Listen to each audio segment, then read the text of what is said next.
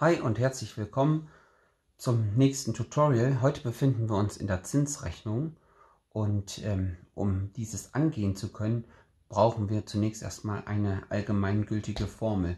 Und unsere allgemeingültige Formel, die gilt für Jahr, für ein Jahr und wird formuliert, Zinsen ist gleich Kapital mal Prozentsatz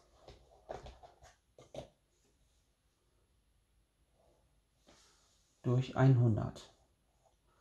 Das ist also unsere Ausgangsformel.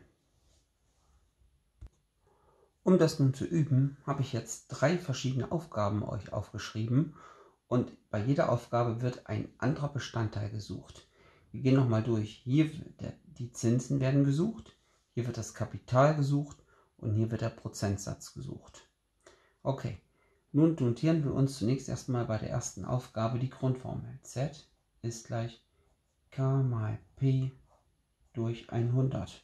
Wir überprüfen nochmal, ist für z gesucht, also können wir auch schon das Ganze eintragen. 720 Euro ist mein Anfangskapital, das heißt also das, was ich beispielsweise auf meinem Sparbuch habe und das multipliziere ich mit 3% und errechne jetzt durch diese Rechnung, wie viel Zinsen ich am Ende auf meinem Sparbuch habe. Dann nehme ich meinen Taschenrechner dazu und tippe ein 720 mal 3 durch 100. Ich erhalte 21 Euro und 60 Cent. Das sind die Zinsen, die ich am Ende des Jahres beispielsweise von der Bank bekomme.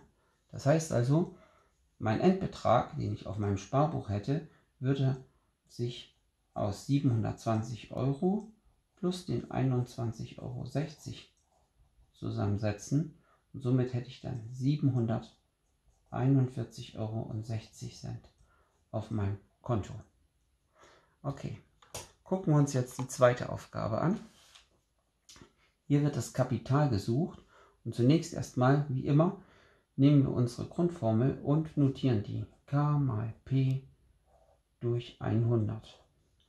Nun müssen wir umstellen, weil wir das Kapital suchen, bleibt das Kapital auf der rechten Seite stehen. Wir multiplizieren hier mal 100 und wir dividieren hier durch p. Das heißt, auf der linken Seite bleibt weiterhin z bestehen. Sorry. Und mal 100. Und das Ganze teilen wir durch p, den Prozentsatz. Nun tragen wir alles ein. z sind meine 352,50 Euro mal 100 und teilen das Ganze durch 5%. Damit bekomme ich dann das Kapital raus, was ich am Anfang angelegt habe, sodass ich 352 Euro als Zinsen bekomme. Ich tippe also ein 352,5 mal 100 und teile das Ganze durch 5 und erhalte ein Kapital von 7050 Euro. Das ist mein Startkapital am Anfang des ersten Jahres. Okay. Und der dritte Fall. Hier wird der Prozentsatz gesucht. Das heißt also, auch hier wieder formuliere ich mir die Grundformel Z ist gleich K mal P durch 100 und löse die Formel, indem ich sie umstelle nach P, also nach dem Prozentsatz. Das heißt, auf der rechten Seite bleibt P stehen, auf der linken Seite bleibt Z stehen. Ich teile durch P und multipliziere mit 100.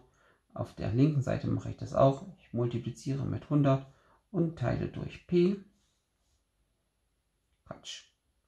Durch K